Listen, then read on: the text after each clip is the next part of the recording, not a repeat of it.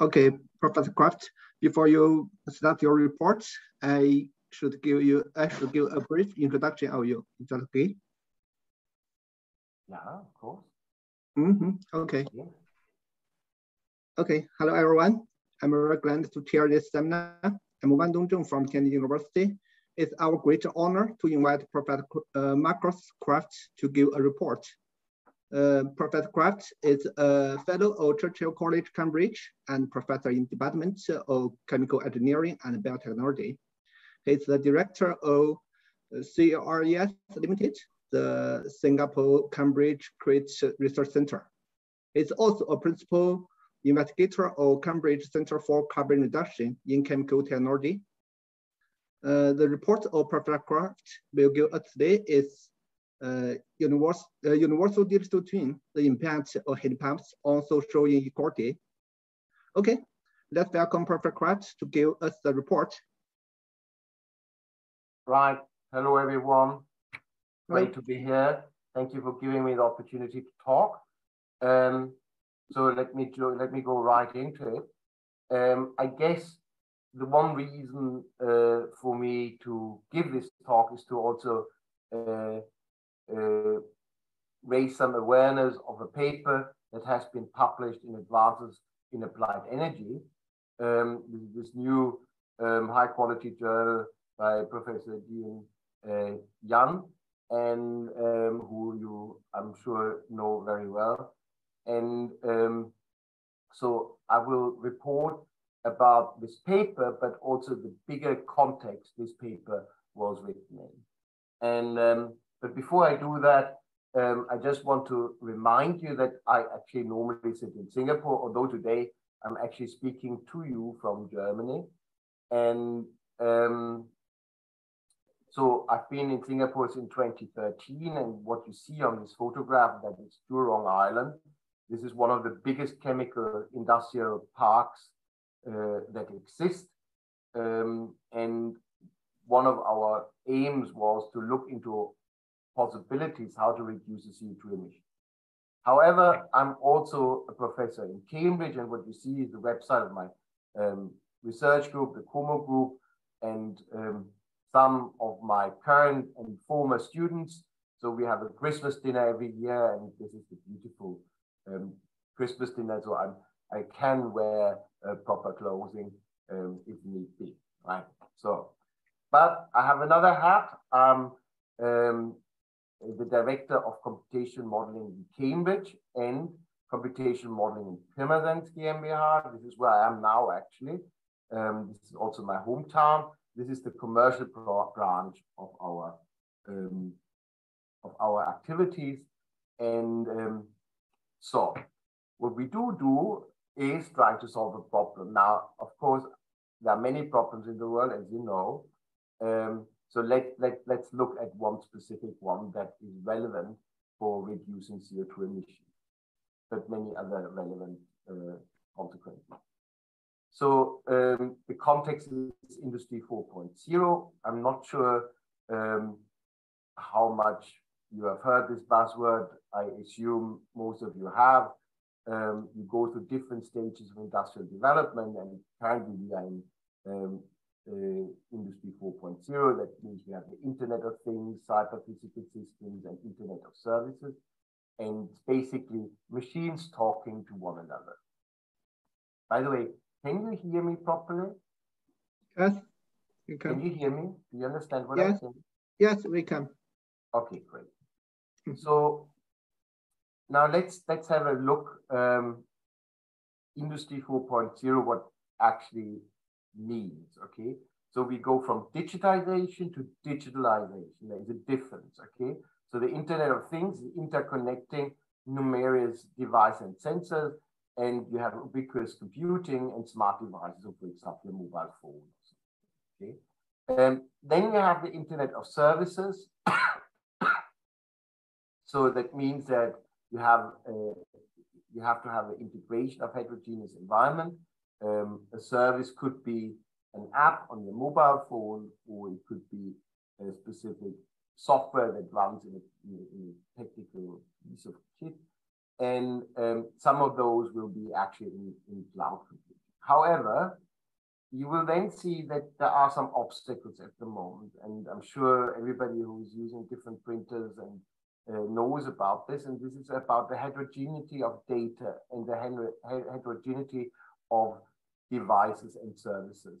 And, and this, um, this problem um, that data cannot be exchanged, software cannot um, work properly, this is um, part of the, um, what we now want to look at and present a solution to. And in our view, the solution is based on knowledge graph, but that, that actually is almost misleading. What I want to present here is the what we call the universal digital twin or the world avatar. Okay.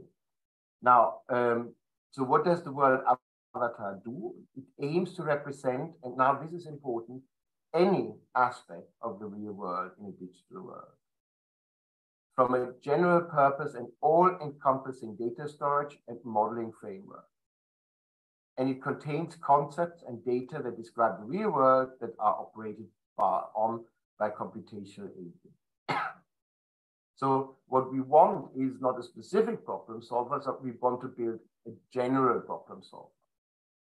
Okay, so knowledge graph, what is this? Um, now you have to know that this technology that we've been using is uh, used by many people every day, including yourself. So if you look at the Google website, then you see um, uh, knowledge graphs are used for categorization of search results, embedded user experiences, different sources, auto-generated knowledge panels, linkage from different platforms.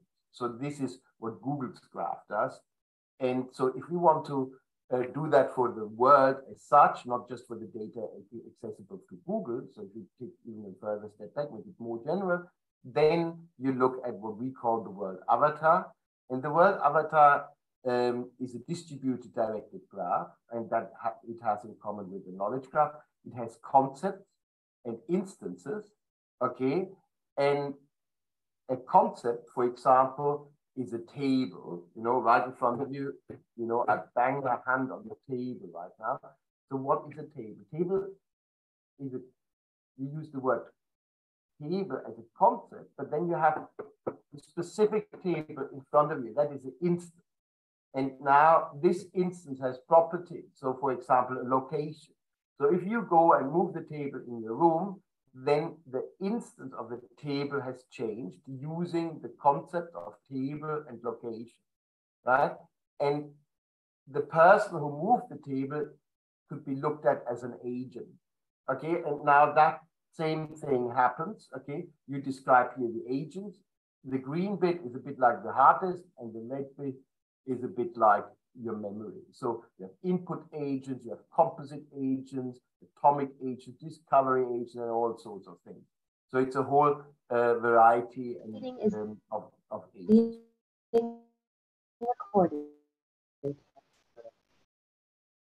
The properties of this directed knowledge graph are very attractive.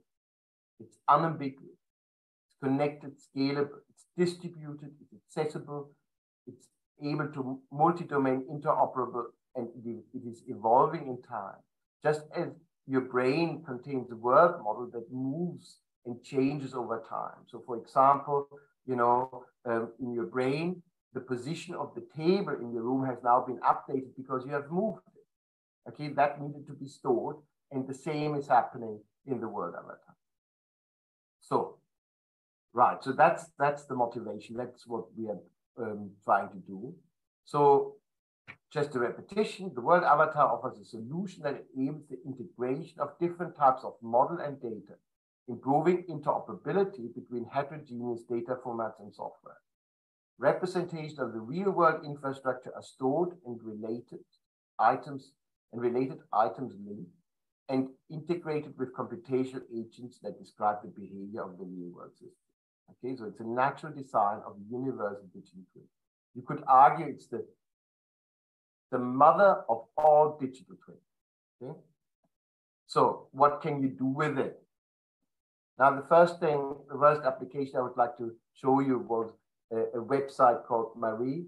Um, here, that website's purpose is to access chemical information um, over and above what, for example, Google can or PubChem can. Um, this work website is in, in um, development. Um, we can already do some things Google cannot do, but we also lag behind in a few other things. For example, the interpretation of natural language.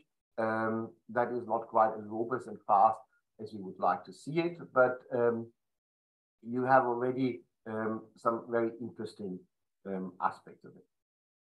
Then secondly, we have a rep representation of the gas pipelines and gas terminals, including their actual um, state.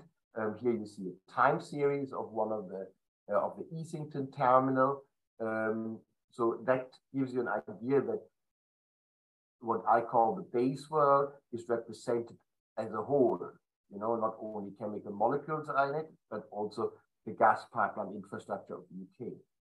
But also its land use. You know, what crops can you find? Where? So now imagine you were operating um, a biorefinery and you needed um, some biomass, say um, spring wheat, um, oilseed, uh, that are all suitable for your biorefinery, then you could use an agent that basically says, okay, how far do I have to go to source my demand um, in these particular crops? And, um, and, this is what you see here um, with the circles. Um, so also a, a, a representation of the base. But then, um, of course, particular interest are buildings, and buildings can be represented at different levels of detail. And this is actually Norfolk um, in the UK, that's um, north of Cambridge. And what you see here are buildings represented at level of detail one. That's the most simple representation, just extrusion of uh, the floor of the building. However, okay, you can have buildings extruded uh, from LOD2, um, and you cannot only have a few buildings like this. but um, here we have buildings um, that contain the whole of Berlin. So that is sort of quantity. And if we move on to level of details four, you have a building that um, can be represented in terms of different um, flats and what, what is within the flats. Here you have an overlap between um, the city description and what, what's called the building information model, and I will say more to this. But you can also look at traffic, and here um, this is a snapshot of Singapore's marine traffic, and all these ships have now also been instantiated. So the world avatar knows where the ships are. Um, this is one uh, public domain data source. And now you could, of course, argue what impact have, have these ships on, um, in terms of air quality on Singapore. So, and in order to do this, you know, we've created what's called a virtual sensor. So you have to have a concept of the ship, you have to have concept of weather and wind and rain, and you have to have concepts of building. I've already shown this. You have to have concept of the internals of, of a reactor. In this case, the ship could be viewed with its engine as a, as a, as a chemical transformation from energy into, into power. And of course, if there's combustion going on, you need to understand the chemistry uh, that happens within that reactor, and we use our chemistry information. You have to have an agent that simulates what this engine does, and you have to have an agent that knows how these emissions from a ship disperse into space given the, the corresponding weather. And what I show you now is uh, exactly that. You see the black dots are the ships and they've been moving. And um, so uh, you can then basically over time get an idea um, of how these ships um, impact on the air quality, say in the financial district of Singapore. Right, let's move on.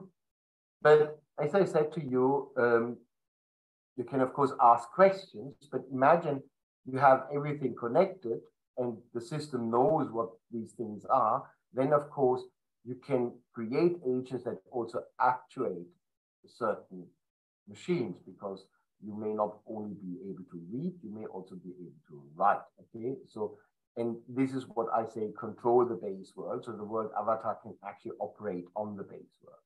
And let's show you how we did this. And for that, um, you now see um, the digital Pirmasens. This is actually my hometown. Um, this is where I sit at the moment. And, um,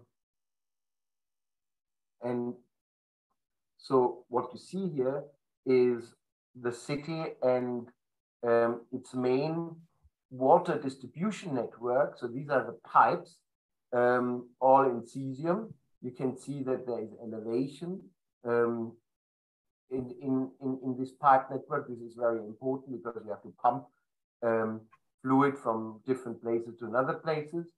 And um, so you can also then look at the housing. So these houses that you'll see in a second, they are at level of detail two. You see now um, they down here, they are now just filled in, into visualization. The red bits are the roofs. That will be important to calculate, for example, uh, um, the amount of PVC cells, solar power um, that you can obtain from these buildings. So this is, uh, I'll get to that a bit later. And um, with that representation, wrong, this is the second time, same thing, um, we've been able to create an agent that operates the district heating network. Um, and what you see here is data from 2019 before COVID. And um, our agent was able to outperform the manual operation and save up to 20% um, of the overall cost um, of operating this network. So here clearly um, an incentive to push this technology a bit further. But as I told you, the world has different scales and different world is uh, complex and has many, many different things in it. So you could start trying to represent this or try to come up with concepts that describe different areas. So here I've already told you something about Marie. You can then think uh, these are the molecules, and you can think about assets in in a laboratory, for example, or could also be in a house, could be an oil burner or whatever. Um, or in this case, we will use analytic equipment. Then we can look at the whole laboratory as such. The laboratory is part of a building. The building is part of a city. The city is part of a country. Um, the country is part of planet Earth. So you, you can see that you can describe the world over across these areas and, and you can look at spatial aspects and where is something located. You can look at the geometry. Sometimes it's important what a building looks like or what an object looks like in order to fit into another object, for example. And functional, what does the object do? You know, is it a house, people living there? Is it an office? Or, or is it a, a factory and so on, okay? So the blue boxes here indicate ontologies. I haven't so far mentioned what an ontology is, but it's basically areas where concepts have been defined so that they can be used in the internet and across uh, which areas they are. So for example, the, the, I showed you this, the, the, buildings earlier on that is part of OntoCity GML.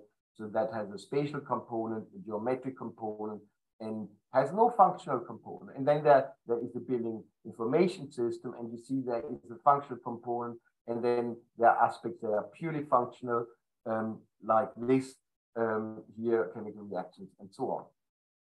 So now I will now in explain to you a couple or show, demonstrate a couple of use cases. So for example, 3D lab representation, building management system, and so on. So um, for this, I will be looking also at this robot. So the world avatar is controlling this robot. Uh, so it has to be still uh, loaded by a human who puts in here a lot of liquids. These are the reactants that go into the into the reactor that you can see here. And um, then here's some other reagent bottles. Um, here's some side reactants. Then um, you have a separation unit, a, a pump, a UV detector, HPLC, and so on. And now I show you a visual representation um, in the building management system and in the world avatar that um, shows you this lab.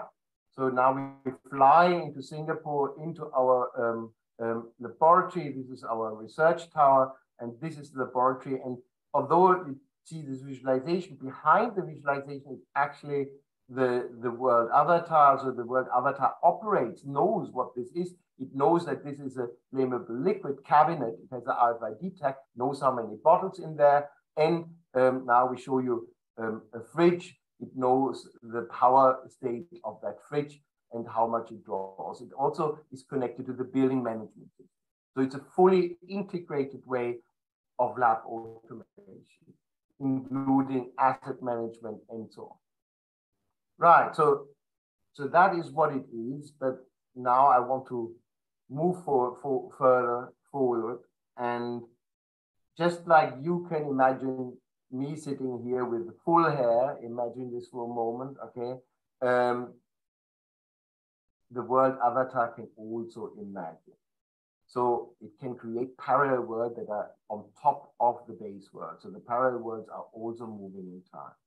So let's look at one parallel world, um, also you could also call it scenario analysis.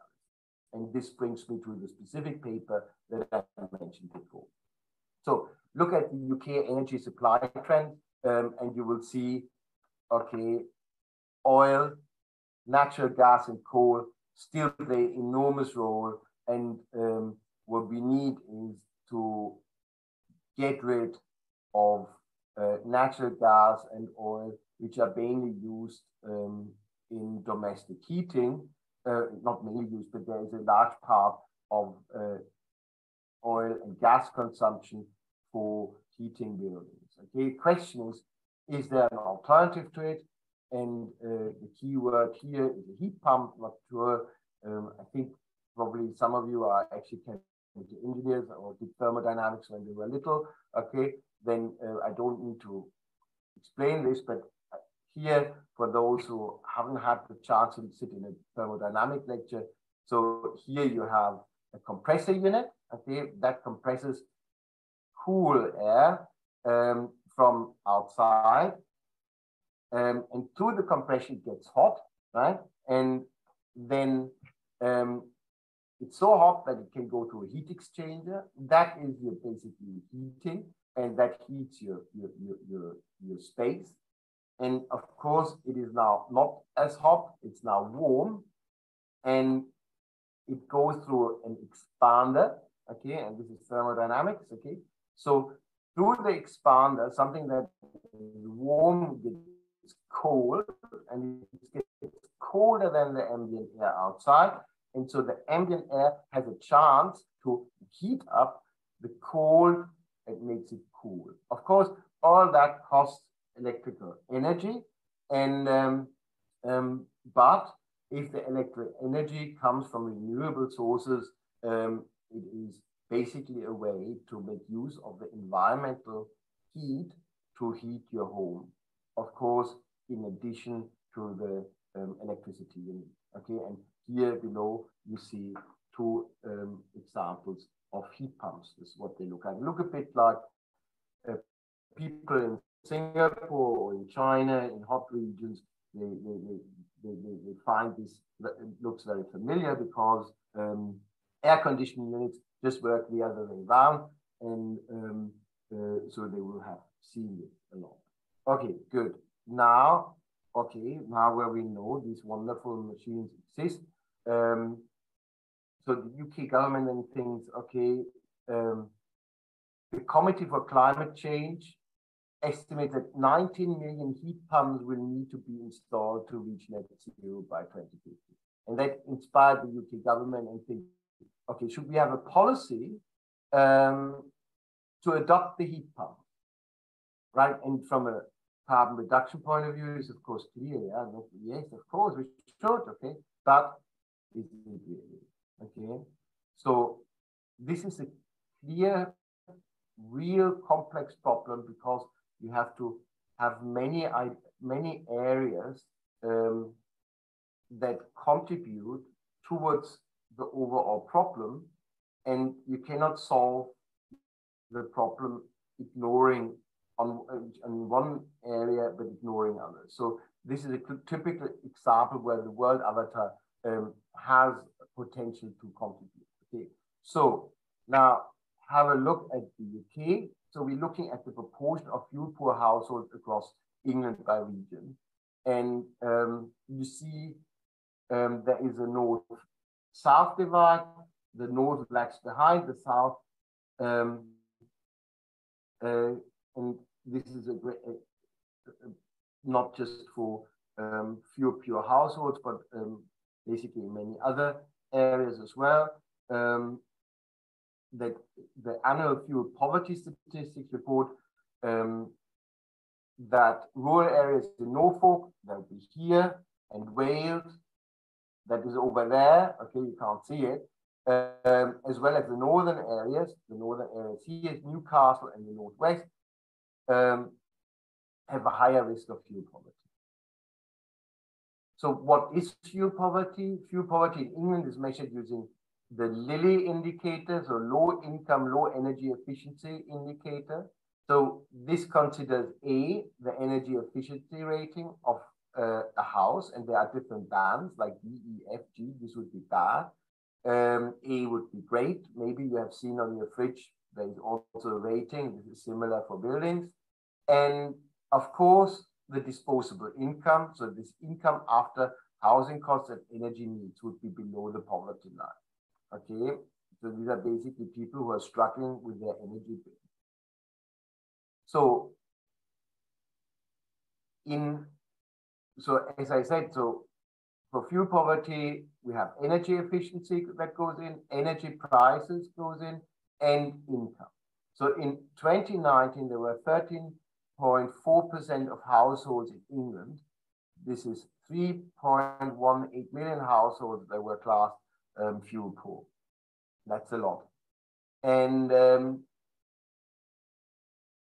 so this is one thing we have to have in mind. Another thing is, you know, we want to have these heat pumps, um, and then you could argue, are these heat pumps the same all over the country? And then if you did your thermodynamics, you will probably find, oh, no, they are not the same. And one way of characterizing a heat pump is the coefficient of performance, also known as COP um, for air source heat pumps. And what you see to the left, you see the coefficient of performance in two different areas, one in the Midlands, okay, and one closer to London. And uh, you can see the typical values, and you can also see that it varies throughout the year. And why is that so? This is highly correlated with the surrounding temperature and humidity. So um, here you can then um, see to the right, this is over here, the mean, minimum, and maximum coefficient of performance and the corresponding air temperature through Great Britain, Great Britain in March 29, right? So the temperature and the coefficient of performance. So what does that now mean? Um, yeah, okay, this is this, name this. Um, so you could then, of course, um, and now we are in the parallel world, we have now deployed in every household in UK these heat pumps, okay? At the extremes of the parameters,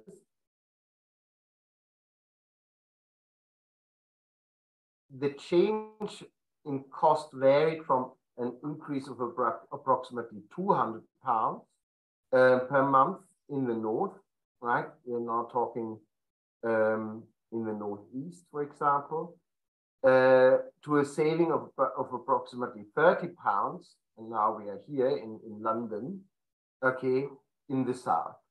So the transitioning from gas to heat pumps would impose significant changes in fuel costs on households, both on a local and national level.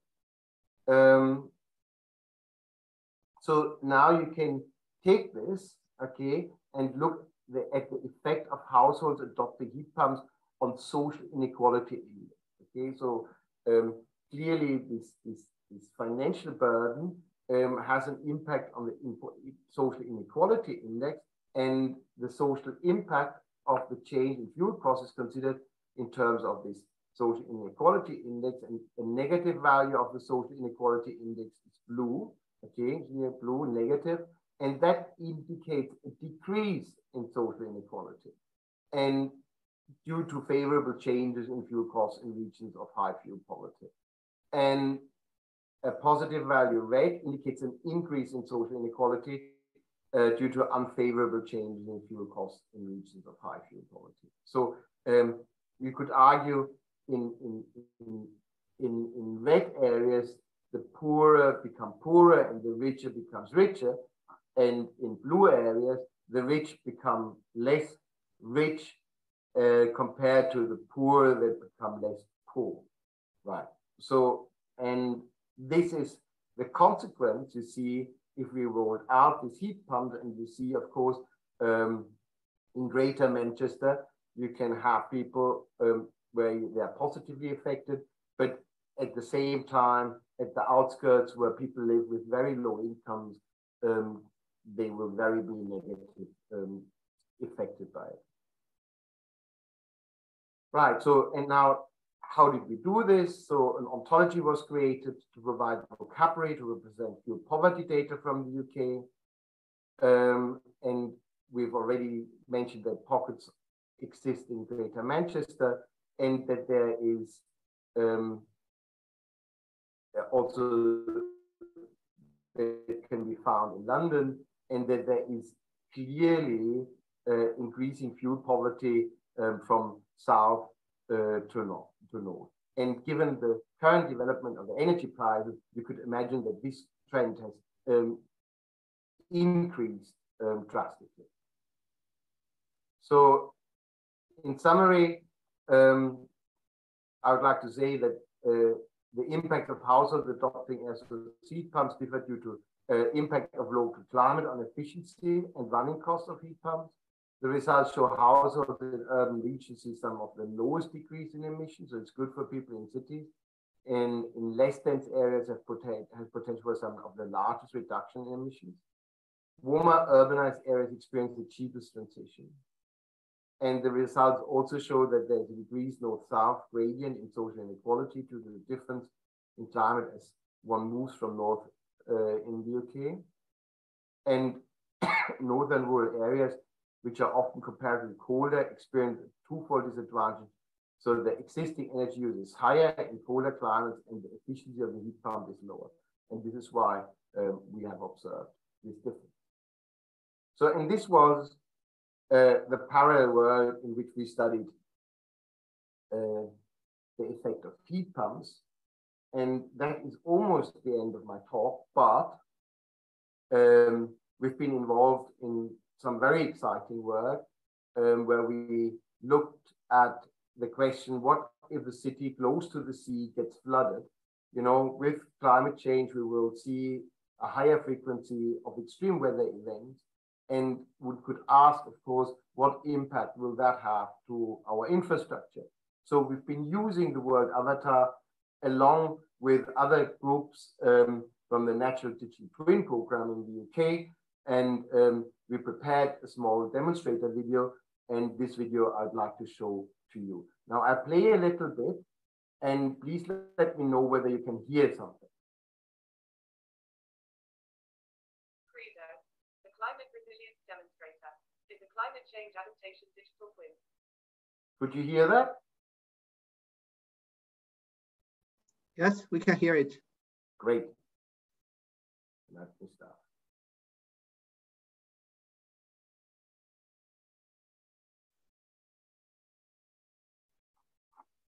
Credo, the climate resilience demonstrator, is a climate change adaptation digital twin. The digital twin combines the description of assets from the energy, water, and telecoms networks with data from flood simulations to resolve the effect of flooding on individual assets and the corresponding cascade of effects across the combined network. This example considers a 1 in 100 year storm. Under worst case climate projections, for the year 2070, the depth of flooding caused by the storm is shown in these blue patches. Assets that experience problems due to the storm are highlighted with red rings. An asset can be selected to view details about it and investigate the cause of failure. In this case, the power state is reported as false, meaning that the asset is out of service. However, the water depth is negligible, so the asset itself is not flooded. To determine the cause of the failure, we can investigate the dependencies of the asset. Here we see that the asset can receive power from one of two primary substations. Despite the apparent resilience in the network, we can see that both primary substations have been knocked offline by deep flood water. The failure of these substations cascades to their dependencies, resulting in further failures across the network. In the future, such digital twins could pull data from other sources, including live streams of data, improving their ability to represent the real world, allowing for more effective decision support across multiple sectors. Credo illustrates what can be achieved by sharing data across sectors and demonstrates how the use of connected digital twins might be used to support better decision making. So, and so this was uh, another example of how can you use the World Avatar to create parallel worlds and scenario analysis. And finally, I'd like to advertise a book that's just come out and here I can show you, um, this book is on intelligent decarbonization. It covers many aspects of what I said in my talk. It's uh, um, i have been editing this book together with Dr. Um, Oliver Inderwildi, and um, it contains not only a series of technical articles, but also a lot of interviews from leaders in industry, government, and academia. Um, and yeah, I can recommend it. Um, you probably have it in your library because it's part of the lecture notes um, by Springer. Um, so I think most of the of the academic libraries have um, a subscription to it. And that brings me now to the end um, almost. So I have to um, give credit to the funder, and that is mainly um, CREATE. Um, and I would like to specifically highlight Thomas Savage, um, Savage's work and his studentship support from Fitzwilliam College. Uh, and I have had support from the Humboldt Foundation. And with that, I have now really uh, come to the end and we have, I've spoken for almost 40 minutes. Um, this is maybe a bit faster than I was supposed to, but um, I'm now happy to take questions if you have some. Okay, thanks Professor Kraft. Uh, we have some time for the discussion. Uh, if you have some questions, you can open your mic and discuss with uh, Professor Kraft or just um, uh, type your questions in the uh, chat box and I will uh, read it to Professor Kraft. I, I, um, it would be nice if the people who ask the questions introduce themselves and tell me a little bit uh, what they do and why they why they listen to the, to the talk. Mm -hmm. uh, okay. Uh, Professor Kraft, uh, I have uh, I have some I have some questions I want to discuss with you. Yeah. Uh, and you have just uh, uh, said that the inequality index used in your in, in your research. what's the, the inequality index used? Sorry, I didn't get it. the inequality, uh, the inequality index used in your research? Yeah, what is uh, Yeah, what kind of uh, inequality index uh, used? That's a good question. And to be honest, I would now have to revert you back to the paper. I don't know this from the top of my head. Mm -hmm. Okay. So um, I'm, I'm sure we've just used a governmental metric um, and, you know,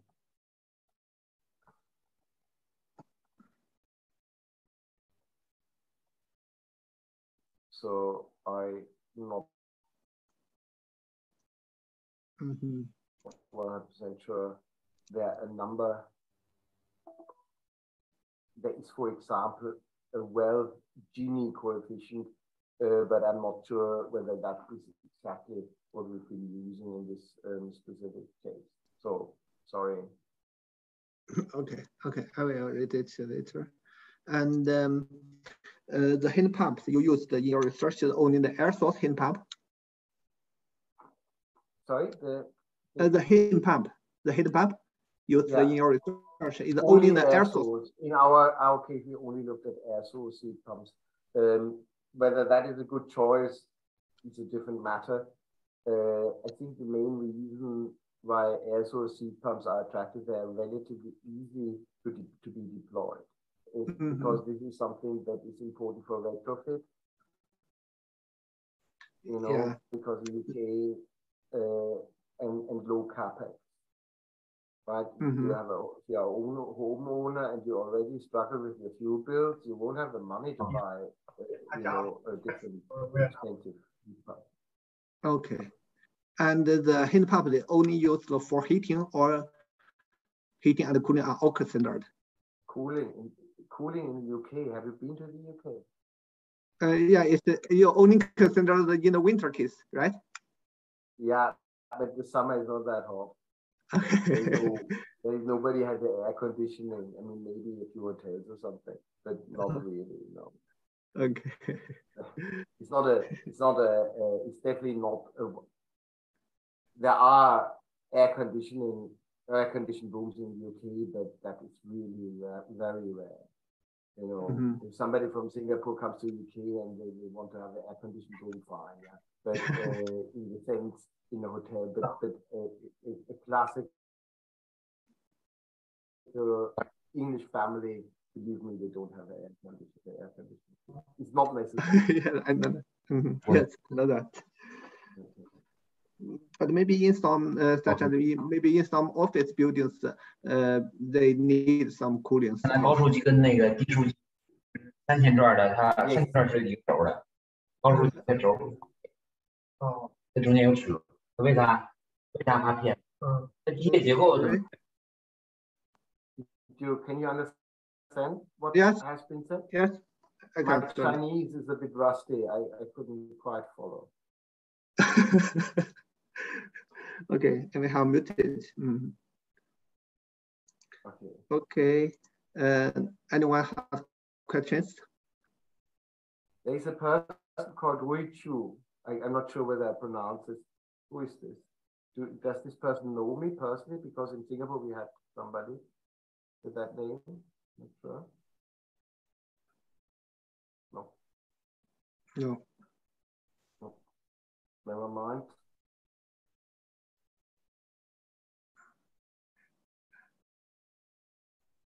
No. Okay. Uh, Dr. Chu, if and if there are no questions, is this the time for us to close the seminar? Yeah, yes, yes, thank you, thank you. Okay, thanks Professor Kraft for your excellent report. And uh, uh, it's time for us to, uh, it is really very, very impressive. Many thanks. Yeah, time for coffee break. Okay. and uh, are, you, are you sitting in, in Sweden? Um, no, no, I'm not in Sweden. I'm in China now. Ah, okay.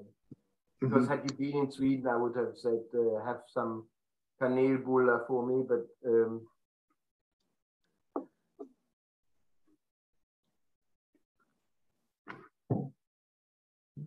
The not okay, China, now. I'm not sure whether mm -hmm. something at 11. Yeah, they'll have some green tea or something. Bye. bye. Thank you. Thank you, Lucas. Bye bye. Bye bye. Bye bye. bye, -bye.